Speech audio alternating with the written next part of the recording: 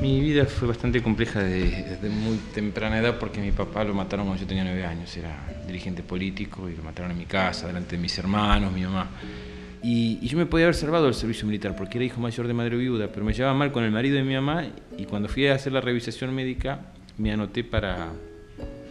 Me entusiasmaron para hacer paracaidismo y me anoté como paracaidista porque eran seis meses. Lo que nunca pensé que iba a estar no seis, sino 16 meses y en el medio de eso una guerra.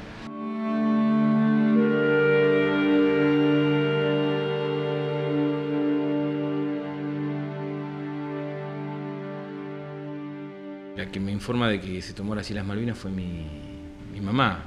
Y me decía cuántas mamás o cuántos soldados van a ir a la plaza a, clamar a Galtieri sabiendo que sus hijos pueden ir a una guerra. Pero a la vez había tanto fervor patriótico, había tanto entusiasmo, que, cuando llegué a las islas, yo llegué el 25 de abril, eh, tenía esa dualidad.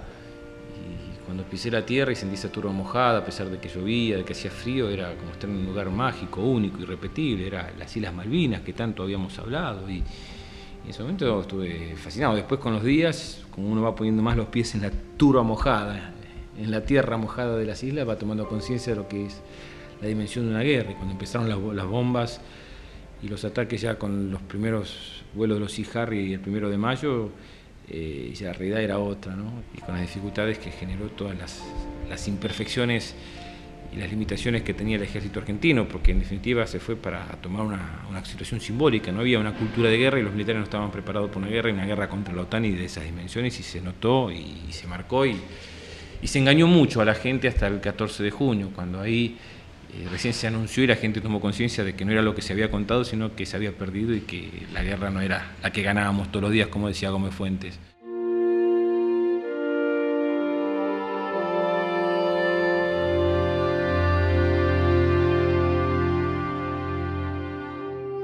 Yo no creo en las guerras, la viví, no volvería a una guerra y creo que el único camino posible es el que se está planteando ahora, a través de la paz, a través de los foros internacionales. Y me parece que de esa alternativa Estamos viendo un momento maravilloso, especial y que hay que construir y que hay que acompañar, porque si las islas vuelven a estar de este lado como corresponde, va a ser a través de la paz y a través del diálogo y a través de la construcción y de los derechos que tiene Argentina sobre ese, ese archipiélago.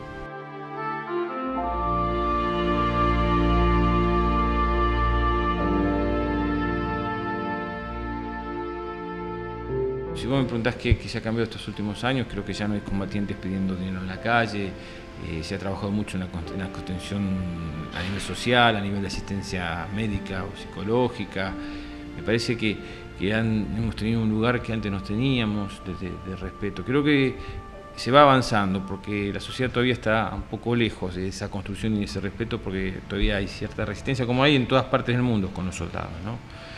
Pero creo que acá fue un poquito más cruel que en otras partes, más, más dura.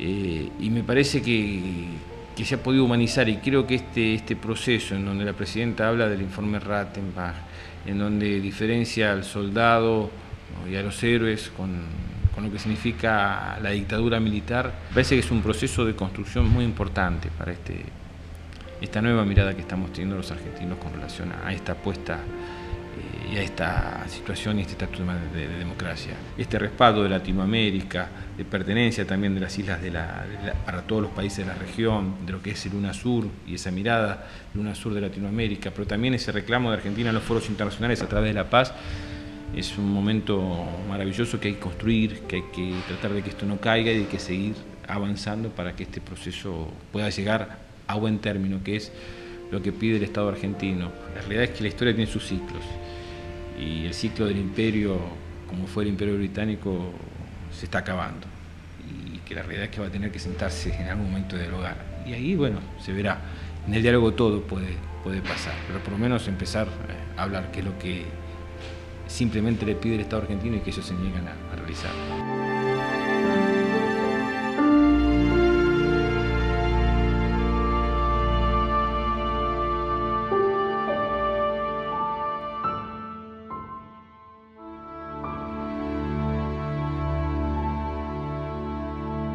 Yo no soy un sobreviviente de la guerra, soy un hombre que pudo reforzar, reconstruir, soy un hombre feliz de la vida, La vida conmigo ha sido generosa también, porque tengo una familia que me ha contenido, que los amo y que me aman y tengo un trabajo que, es maravilloso y que, me ha dado esta posibilidad de seguir construyendo. Entonces me parece que desde ese lugar eh, es bueno que nos demos otra oportunidad. Y el Estado hoy está presente para contenernos y, acompañar esa, esa, oportunidad que nos merecemos los que estuvimos como soldados en Malvinas.